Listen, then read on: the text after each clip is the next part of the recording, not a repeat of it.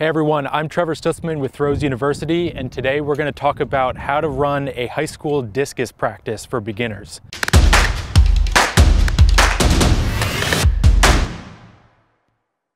The primary goal I try and do when, whenever having high schoolers throw is get them throwing. Get them in the circle, get them throwing, get them spinning, and get them just taking as many throws as possible.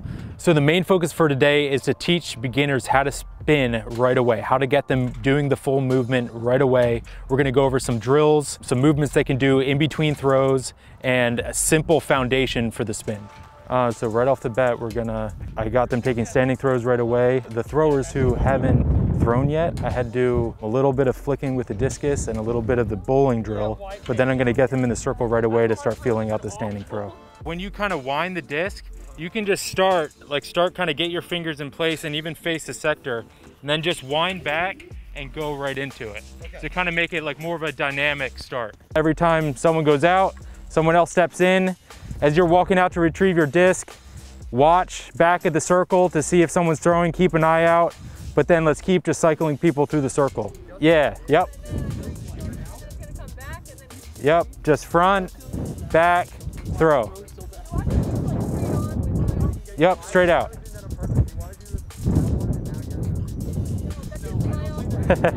so here, here's what I want you to do. Take, take the disc and, and off to the side, just do some real light releases and try and just get it to spin. Get the discus to spin. Yeah, just like that. Wind back and then just unwind out. Yep.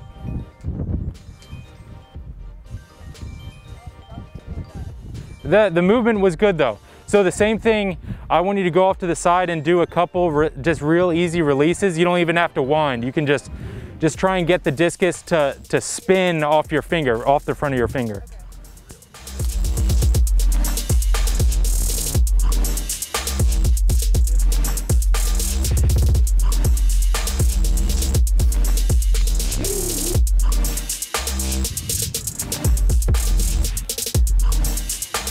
All right, that's not bad. Still, still, see if you can keep that right foot on the ground and bring your thumb down as you release.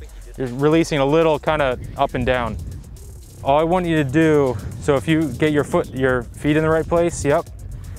And then you can bring the discus up here. Yep. Yep. And then, then just wind back and release. You're gonna have your hand on top of the disc. So think that, that centripetal force, so when you're, I don't know if you took physics, but yeah, it's gonna stay in your hand as you're moving.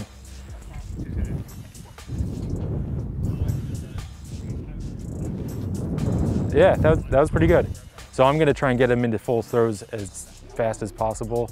But I think once they can get a decent release out, even if they can't get a perfect release, I'd still rather them go to the full throws just to get the, the feeling of the movement. But I'd say probably maybe, you know, five to 10 standing throws before going to fulls. So when you're doing the spin, and some of you saw this in shot yesterday, but you're gonna start directly facing the back of the circle so you can stagger between this back little, this notch in the back of the circle. And it's gonna be the same wind as the standing throw. So you're gonna come here, wind back, and then you're gonna go your throw. Now the key with discus is you need to keep your the disc high and you need to keep it pinched back. So a lot of times you tend to drop the disc and have the, have the disc come in front of you. You need to pinch it back and keep it high the whole way through the movement. But other than that, it's all the throw comes down to is your right foot moving around the left foot into the middle of the circle. And then it's just the left foot coming around the right foot and now you're in your standing throw position. All right? So it's just right around the left, left around the right, and then a standing throw. Those who are comfortable spinning, I want you to keep throwing. Everyone else, I want you to do drills in the grass for right now, just working on the movement, working on the footwork, all right? And then I'll kind of, I'll, I'll kind of coach you through some of the, some changes if you need them. Why don't you all face me this way, and then just so we're all kind of oriented this, the, the same way. So just think your right foot sweeping around the left foot. Everyone's right-handed here, right? Okay. Yeah, so your right foot sweeping around the left and then setting down. And one thing I want you to think about is when you're starting, you're facing back. Now, when you step into the middle, you're gonna face the sector. And then when you're left, steps to the front, you're gonna be facing back again. So it's that, it's you're gonna be facing back, then front, then back each step.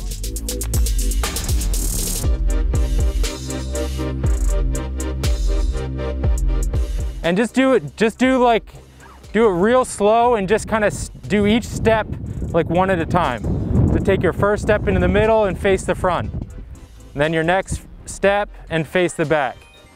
And then you're gonna throw, then you'll be in the, the stand throw position. And then one thing you can do with the disc, just grab it for this. And that way you can, you can just hold it with your hand high and with your hand above the disc, yeah. And then try and, try and do the whole spin keeping your shoulder pinched back and keeping the disc high.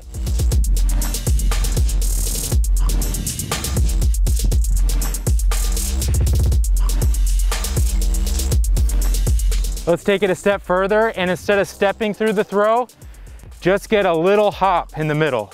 So just a little hop, both feet will be off the ground for a little bit and then your left will land to the front. So think you're hopping from your left foot to your right foot.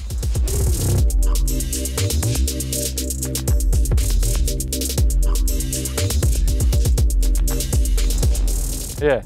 And then the challenge here is to remember where your body should be facing. So out of the back to start, you're facing back. When you jump in the middle, you're facing front. When the left foot lands down, you're facing back. So that's where it really starts getting challenging. But let's jump in the circle and just try it out.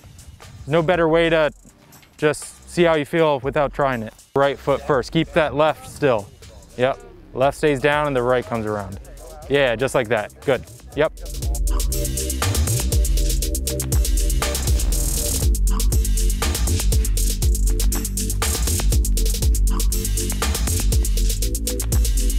All right, not bad. See if you can get your left foot to come around a little, little more at the front, like rotate around, get down a little quicker. First, if there's something major going wrong, like maybe they're dropping the disc, maybe they're releasing wrong, I'll, I'll fix that. But probably the most prominent errors right out of the right out of the back is the right foot being really tight. So they'll come around and the right foot will be really tight here.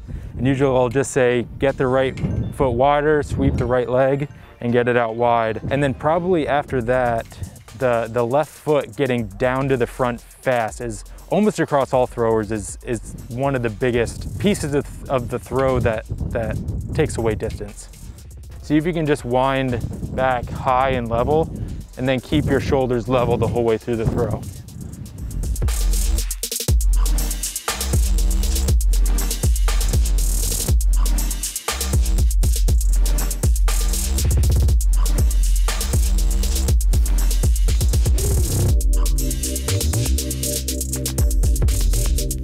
See if you can then like rotate your upper body around a little more at the finish. Uh, now in between each throw, I want you guys to grab the med ball and do side med ball throws. So you're gonna come, come back with the med ball and throw it out to your partner, all right? So let's do in between each throw, see if you can take five throws on each side. So do the right side, then the left side to your partner. But then keep, keep an eye out for when you're up next in the circle. So if you're up next, just drop the med ball and come over and throw. More yet.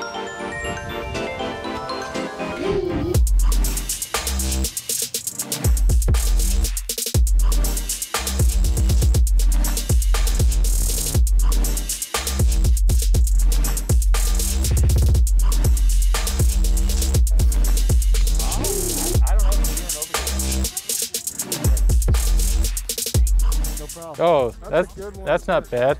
So a lot of people wonder whether you should reverse or non-reverse to start out. I think it's definitely best to do non-reverses when you're first learning to throw. For one reason, it simplifies everything. It makes it, the spin 100% more simple. And also it teaches you how to use the upper body at the finish of the throw. One of the most difficult parts of the throw is is learning how to keep your upper body back and rotate it through the finish.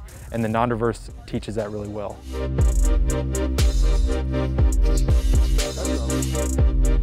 There you gotta stay back.